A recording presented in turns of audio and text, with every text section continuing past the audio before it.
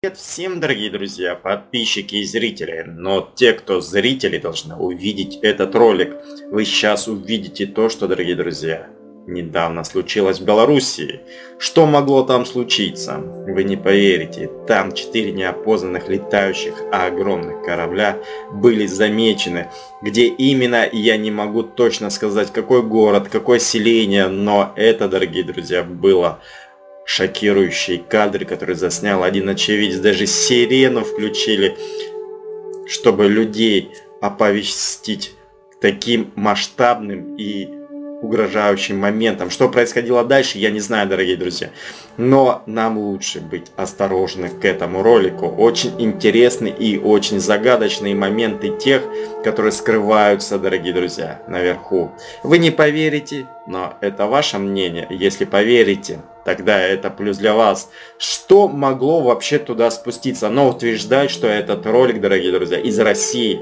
Но множество очевидцев рассказывают, что это было в Белоруссии. Такое еще никто не встречал. Но если сравнивать другие моменты, дорогие друзья, которые люди сталкиваются каждый день с такими НЛО в космосе, но это именно была съемка как всегда, МКС, которая э, следила за происходящей нашей планеты, и тут появился НЛО. Что могло это проявить и для чего, никто не знает. Но такие НЛО стали спускаться на Землю. Кто-то утверждает, что они улетают из-за огромных астероидов, которые под видом астероидов летят армада кораблей. Кто-то утверждает, что конец уже близок. Что это вообще происходит, я не знаю. Но рассуждать, дорогие друзья, на эту тему очень странно, если пока не посмотришь этот ролик, и тогда ты все сам поймешь. Ну что, дорогие друзья, вы будете сейчас медленно и тщательно смотреть мой ролик, как я его чуть-чуть изменил в плане того, чтобы вам было наглядно увидеть, что происходит от А до Я. И тогда вы будете сами решать, ставить нам колокольчик или ставить нам пальчик.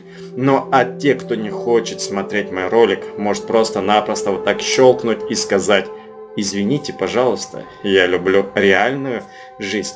Но где вы такое еще увидите, как не на моем канале, дорогие друзья? И такое, которое происходит не каждый день, а может каждый день, ни у кого может с собой не быть телефона или еще что-то, которое можно запечатлить. Но такие люди иногда бывают везунчиками, когда успеют снять с кармана телефон и заснять то, что происходит рядом с ним. Такое не всегда бывает, и у меня даже бывают косяки, когда я не успеваю заснять. Но вы, дорогие друзья, не судите строго, вы должны внимательно досмотреть этот ролик до конца, и в конце я свой вердикт оставлю. Так что смотрите, дорогие друзья, что происходит у нас.